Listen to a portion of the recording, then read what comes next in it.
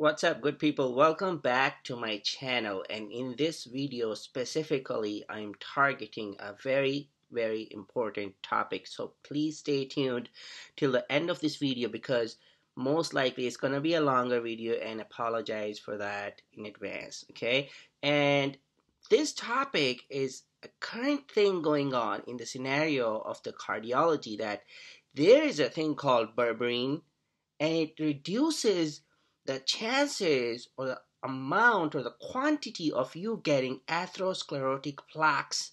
And my job here in this video is to show you that how it can do that. Let's talk about it. Let's show you that what it is doing. So berberine it's an extract. It's a chinese traditional herb and it has a lot of benefits for example antimicrobial anti-inflammatory effects on the di digestive system and its underlying anti-cardiovascular disease mechanisms are currently at attracting a lot of attention in the pharmacological world as well as medical world and herbal medicine already appreciated that in the past. It also regulates the neurotransmitters and eh, enzymes and cholesterol lowering effects and has got a lot of health benefits from that perspective.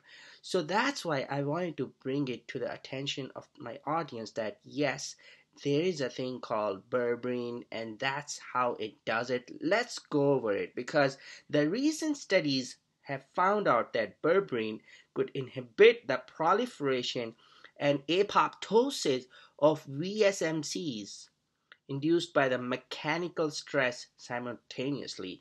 And that's how it could be an excellent thing to treat your atherosclerotic plaques. And we know that when that plaque builds up in your coronary arteries, then there is a chance of getting cardiovascular attack or cardiovascular mortality or myocardial infarction. Okay, uh, because we don't want that blockage that's why we give them stents. And that's the benefit that they are thinking about that why not give berberine even to those people who are already those people who got cardiac stents because the thing is stents do block over time and you don't want that. So what do you do? You give those patients uh, certain medications, certain drugs like cholesterol lowering drugs and uh, drugs that keep the blood you're thin or called blood thinners for example, aspirin and stuff like that. So that's the beauty of this medicine or this herb that could come as a potential medicine in the future. And that's what they have been working on. Let me show you the mechanism that how it does that. So when you look at the atherosclerosis, uh, that's how it forms.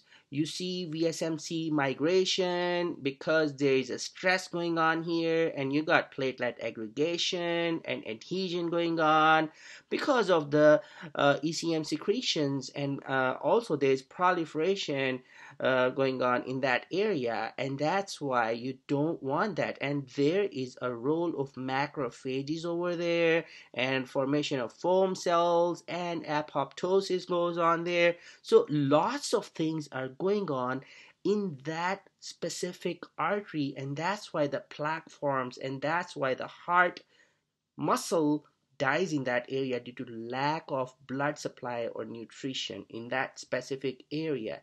And that's what we don't want to happen you know because that's a cause of mortality that's the leading cause of mortality and that happens because of some risk factors like hypertension, hyperglycemia, and hyperlipidemia, and subsequent lipoprotein infiltration.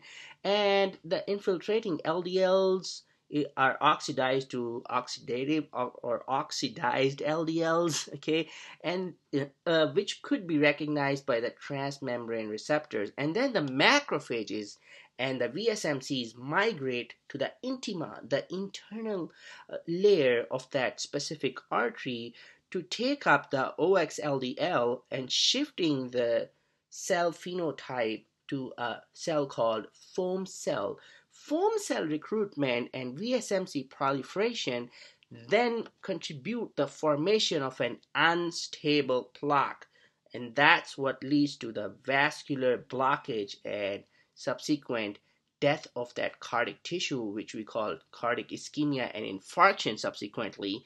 And that's what we don't want. And that's where berberine plays its role. So that's the mechanism. It's a huge publication. I will post the link in the description of my video, so please go over it because berberine inhibits those EC cells that I was showing in the previous pictures. EC, ECM eh, secretion is therefore you know reduced, and that's what we want. That yeah, EC cell have anti-proliferative and anti inflammatory functions and maintain the homeostasis balance and we want that. And berberine helps maintain that homeostasis in that specific area. And EC cells are important in that atherosclerotic mechanism and it also protects the EC cells from the damage because as you can see in this picture that damage is the inciting event in the whole cascade and that's critical and that's why i love berberine. I am uh, vouching for it actually. And um, so and another effect is it has a role against vsmcs and vsmcs have a critical role in the atherosclerosis or the plaque formation because VSMCs are highly specialized cells and they have a principal role in several diseases such as atherosclerosis and hypertension. And berberine may inhibit the adverse cellular behavior of VSM VSMCs, and that's why influence the progression of cardiovascular disease and cardiovascular mortality potentially.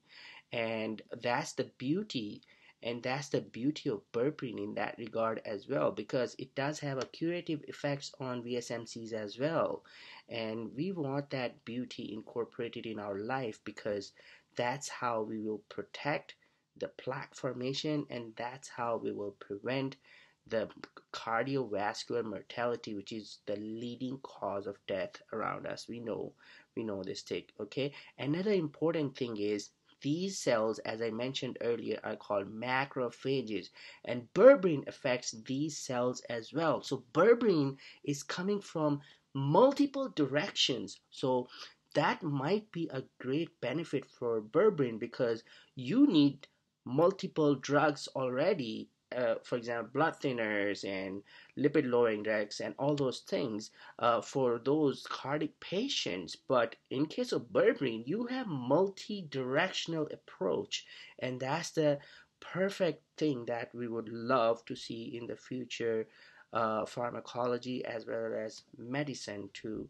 help the patients because macrophage function and phenotypic changes are what we are targeting in that mechanism okay because monocyte migration and plaque formation is also part of it and ma- monocyte derived macrophages are a major promoter in the plaque formation and that's what we are targeting by taking berberine okay Again, this is a long, long, long discussion. Uh, if you have any questions, please talk to your primary doctor or your cardiologist. Also, ask me in the comment section. Me or somebody uh, expert would see that comment and answer you. Okay. Uh, and uh, so, majority of the studies have reported already that the ability of berberine to suppress the monocyte mobility is amazing.